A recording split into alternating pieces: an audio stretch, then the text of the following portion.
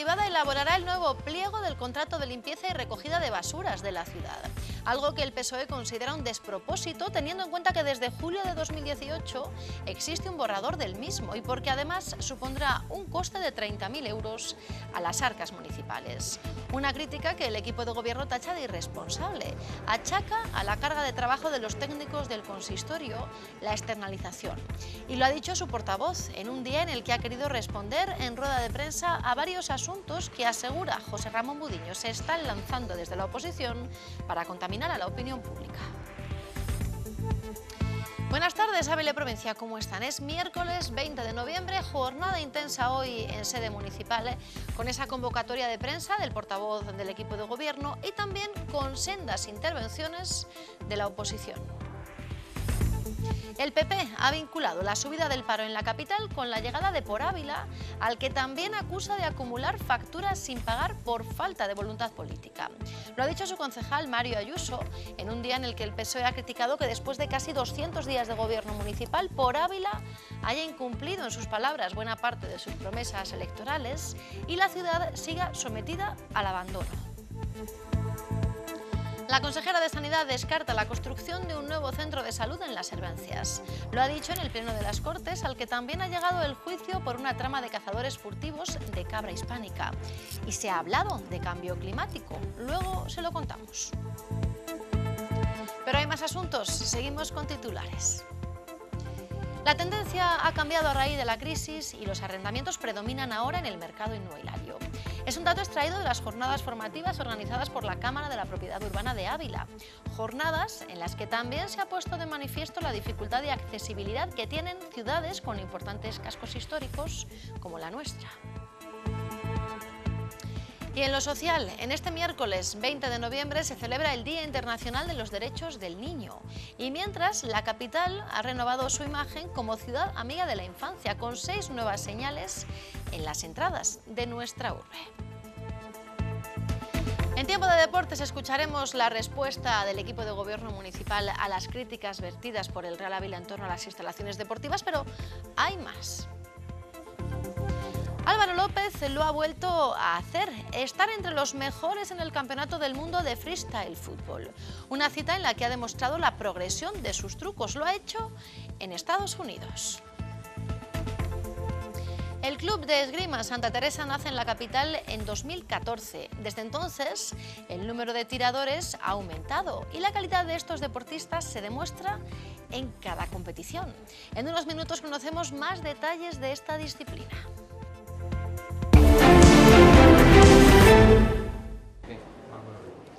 Es la imagen de esta jornada de miércoles 20 de noviembre, cielo cubierto y suben las temperaturas al menos ligeramente las mínimas, que se han quedado en 2 grados en la capital, rozando un grado bajo cero en el puerto del Pico.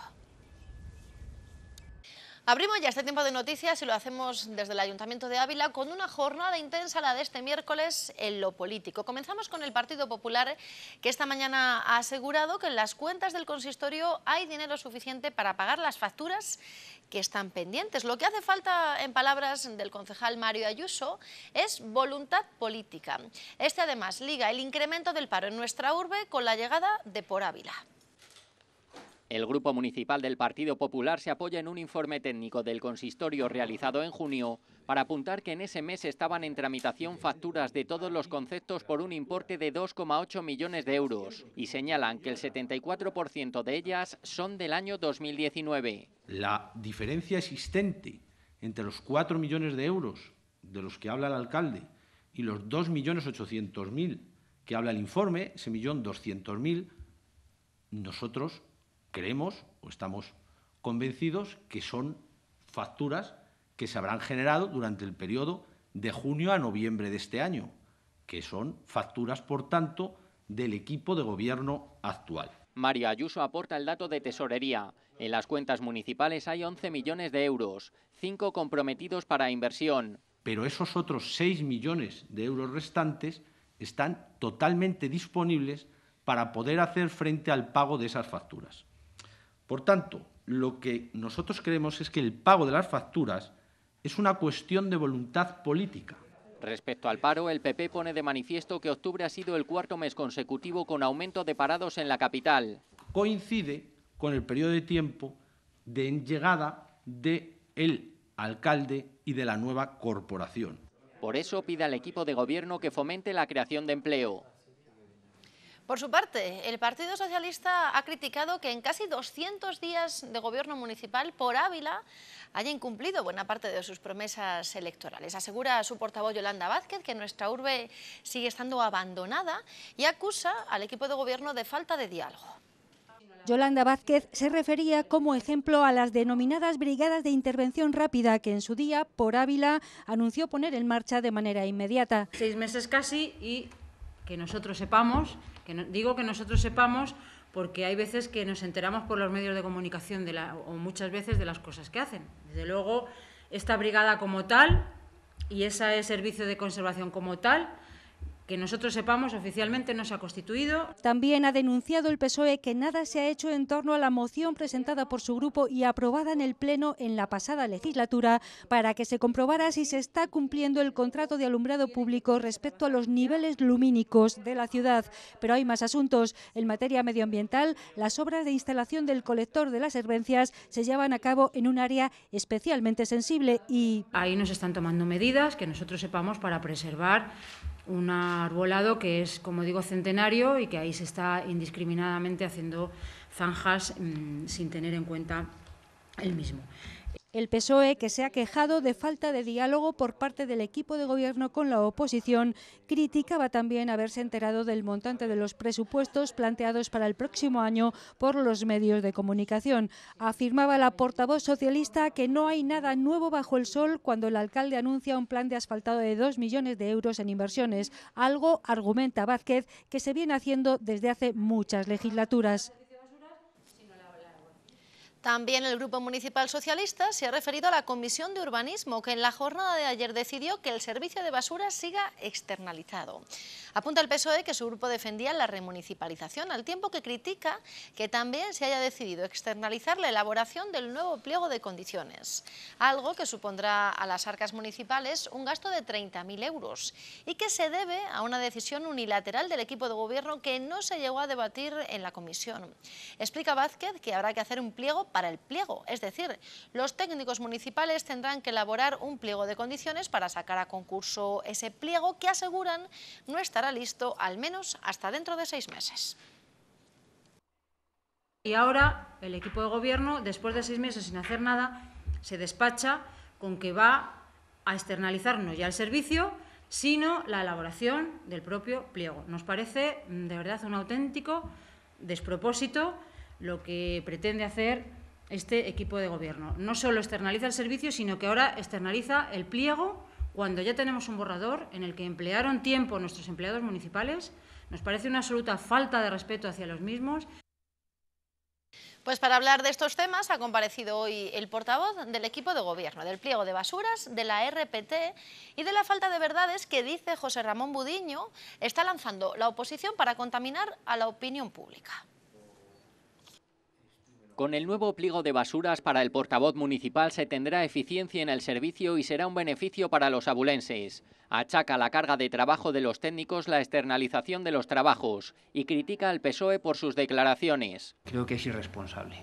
Es ilusorio por la parte del Partido Socialista, pero es irresponsable. Ellos deberían de conocer, porque lo pongo en duda si hacen esas afirmaciones, cuáles son los trabajos que de manera diaria llevan todos los servicios y todos los trabajadores de la casa. Si hacen esas afirmaciones, bien, o son de manera demagoga, o bien lo hacen por desconocimiento. Lo que tiene que ver con la relación de puestos de trabajo, José Ramón Budiño señala que se avanza sobre las labores realizadas anteriormente para poner orden a la RPT frente a las medidas de la oposición. Una propuesta por estas formaciones de decir que se apruebe la RPT y a continuación que se active esa mesa de seguimiento de RPT para modificar todas las alegaciones que hay. Miren, si vamos a aprobar un documento para el día siguiente empezar con las modificaciones de manera automática, pues mal trabajo haremos hecho. A la vez que anima al Partido Popular a ser claros en cuanto a la partida asignada en 2018 a este tema. No hay una partida en el presupuesto del año pasado explícita y dedicada exclusivamente a relación de puestos de trabajo. Con lo cual, no puedo permitir, en primer lugar, que se falte la verdad con esa existencia de una partida y, en segundo lugar, que a mayores se intente contaminar a la opinión pública con que ese dinero se ha, desembocado en la cuantía o en los sueldos de concejales liberados, que es lo que ayer dijo el nuevo portavoz del Partido Popular. No van a consentir clases de economía ni de moralidad, dice Budiño, y expone que el alcalde no se ha subido el sueldo, pero sí percibe más Sonsoles Sánchez Reyes. Del 2015 al 2019. ¿Qué se puede ver, señor alcalde? Sueldo 4.878 euros. Sueldo del actual alcalde 4.878 euros. Como portavoz de su partido político, de su formación, siendo concejala sin ningún área de responsabilidad política, está cobrando 1.900 euros, aproximadamente un 60% de su vida salarial. Unos datos que ha pedido a los abulenses contrasten en la web municipal, en defensa de la transparencia de la gestión del equipo de gobierno. Pues seguimos en nuestra ciudad, aunque nos vamos del ayuntamiento y miramos ahora al Partido Socialista, porque los afiliados a esta formación en nuestra urbe podrán participar en la jornada de votación para mostrar su apoyo o no al preacuerdo entre PSOE y Podemos para un gobierno de coalición el próximo sábado. El censo que corresponde a esta agrupación de unos 150 militantes supone el 15% del total de la provincia donde alrededor de mil personas están llamadas a exponer su opinión. La consejera de Sanidad descarta la construcción de un centro de salud en las Hervencias. Lo ha dicho en el Pleno de las Cortes de Castilla y León en respuesta a una pregunta del procurador Pedro Pascual. En el año 2009, hace 10 años, la Junta de Castilla y León se comprometió a financiar la construcción del necesario centro de salud de las Hervencias. Consistía en una inversión de más de 356.000 euros para la redacción del proyecto. Esta cantidad fue aprobada por el Consejo de Gobierno de la Junta, como les digo, en el año 2009. El fin de todo esto era mejorar la atención sanitaria de los vecinos de la zona norte de Ávila. Pues bien, una década más tarde, los vecinos de las Servencias, unos 15.000, siguen sin contar con un centro de salud a que acudir. Era Pedro Pascual quien interpelaba a Verónica Casado, recordando que el Consejo de Gobierno de la Junta comprometió 356.000 euros para la redacción del proyecto de este centro de salud, cuya ejecución estaba prevista en 5 millones y medio de euros. Un centro en las Hervencias que descarta la actual titular de Sanidad. Tenemos un déficit en este momento de 830 millones y, evidentemente, eh, plantearnos hacer nuevos centros de salud va a ser complicado. Pero también les digo una cosa.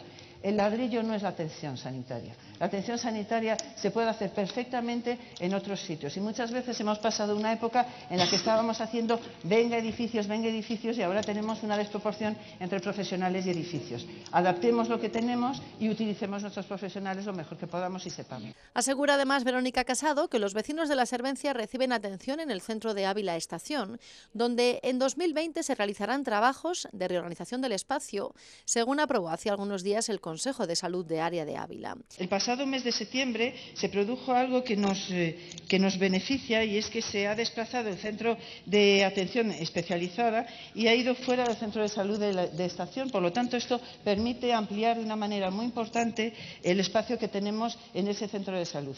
¿Qué es lo que nos va a permitir? Tener muchas, acondicionar muchísimo mejor el espacio, tener más consultas de médicos de pediatría.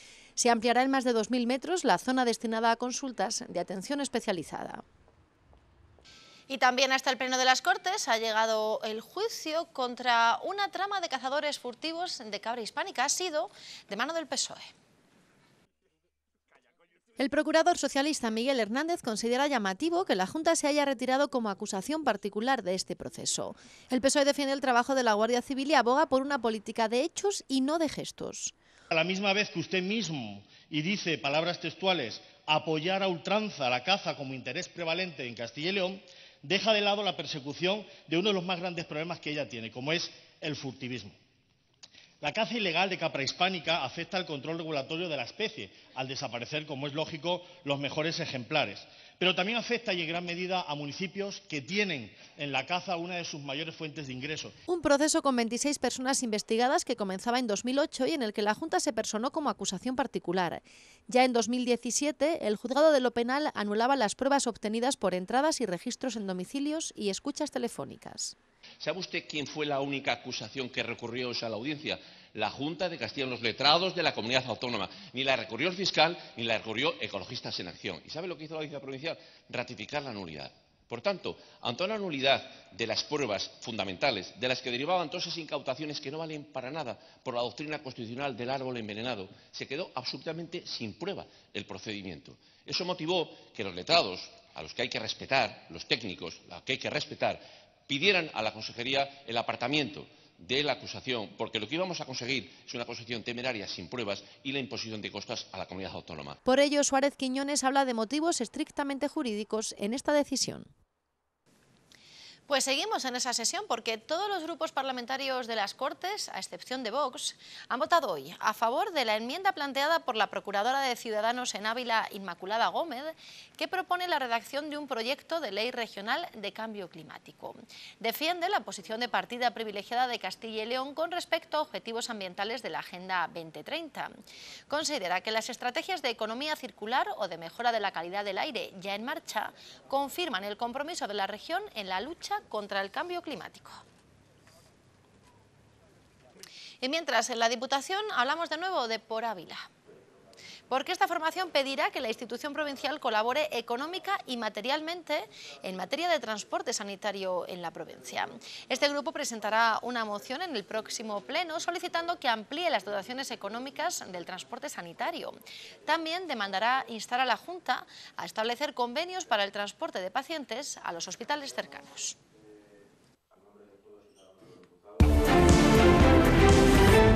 Se lo contábamos en titulares. El Episcopio ha acogido durante toda la mañana de este miércoles unas jornadas organizadas por la Cámara de la Propiedad Urbana de Ávila.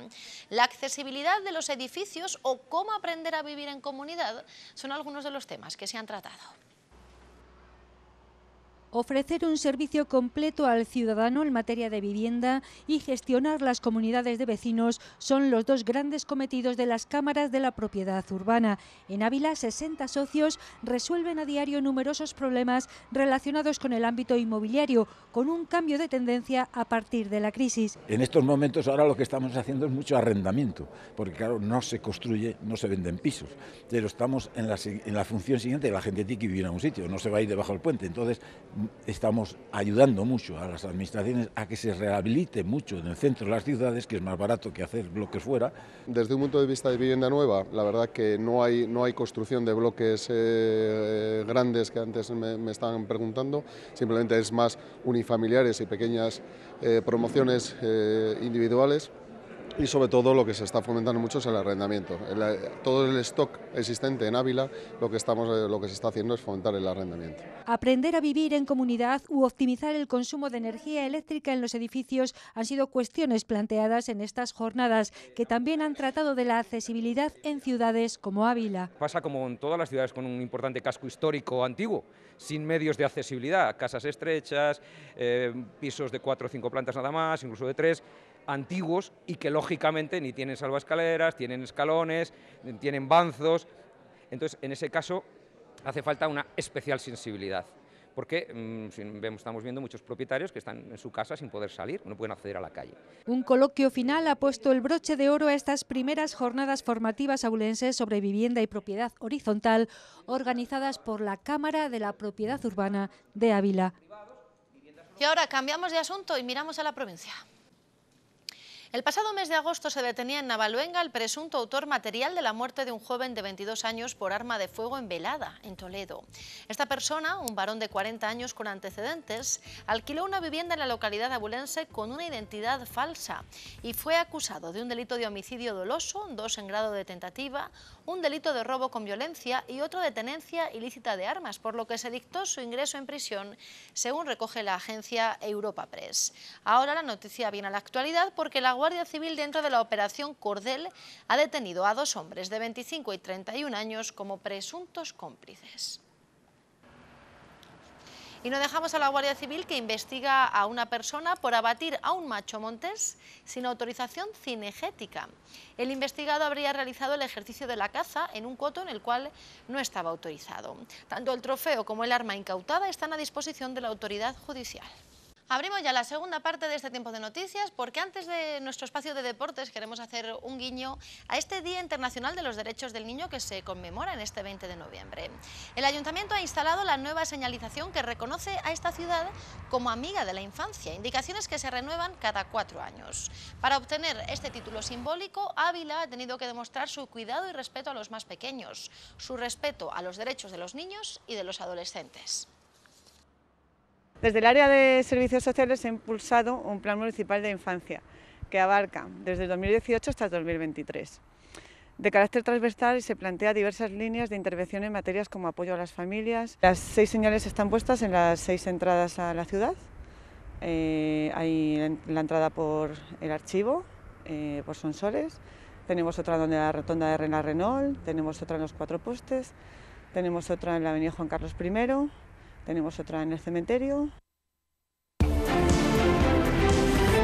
Es momento ahora para el deporte.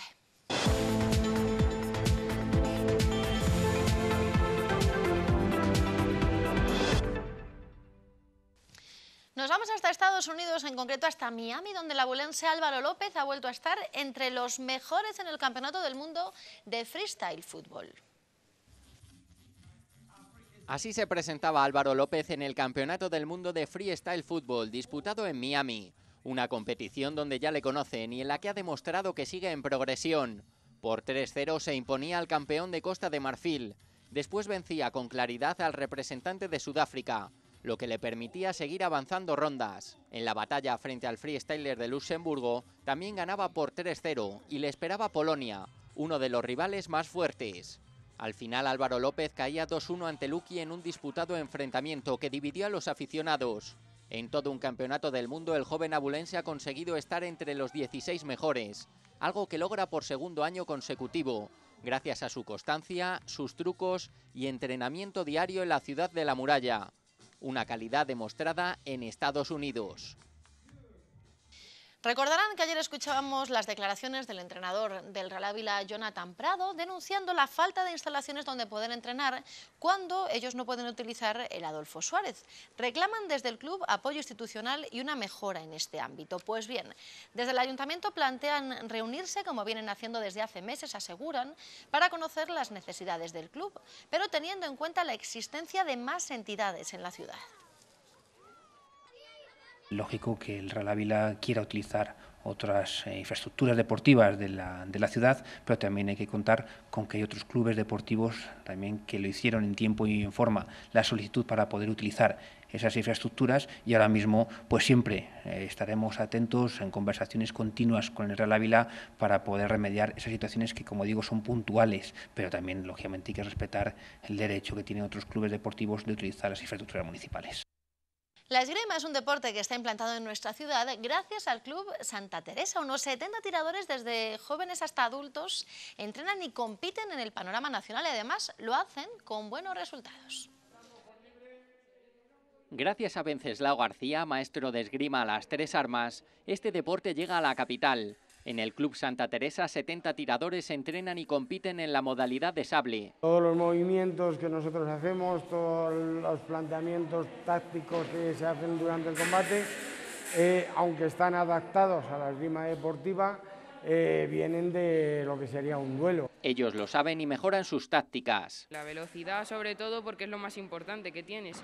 Saber sacar la mano, empezar con los pies para ganar el tiempo de la acción. El esgrima no gana el más alto, el más bruto, el más lo gana el más astuto. El año pasado, por ejemplo, lograron medalla en el Campeonato de España, un sexto y un octavo puesto, además de ser quintos por equipos. La última vez en el Campeonato de España quedé sexta, en Castilla y León quedé, primero de mi categoría y de dos categorías superiores. Mi meta este año, eh, llegar a ser campeón de España y pues clasificarme en un buen puesto en el, en el europeo.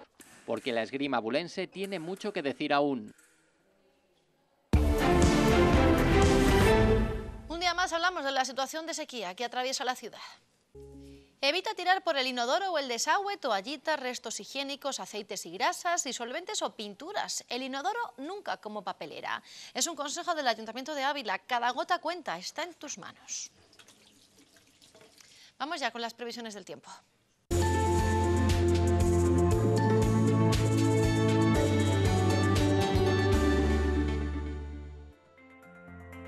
La nubosidad y las lluvias serán de nuevo protagonistas en la jornada de mañana. En la Moraña se alcanzarán 6 grados de máxima, aunque las mínimas serán positivas en toda la comarca, también en Ávila Capital, donde el mercurio va a descender hasta un grado positivo en las horas de madrugada. En las horas centrales no se van a superar, no obstante, los 4 grados de camino a Barco Piedraíta. El frío será notable. En Gredos 2 grados de máxima y posibilidad de nieve, 6 grados de máxima en Piedraíta o Barco de Ávila. Y en el Valle del Tietar, chubascos con temperaturas que pueden llegar a los 9 grados en Candeleda, 8 en Arenas de San Pedro y 7 en Piedra Laves.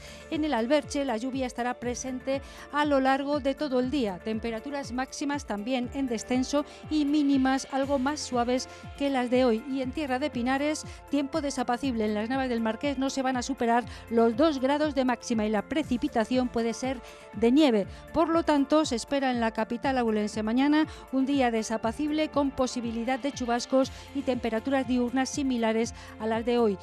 De cara a los próximos días, el sol se intercalará con las nubes el viernes y las lluvias serán de nuevo protagonistas el sábado, aunque sube el mercurio el domingo, vuelven a bajar las máximas.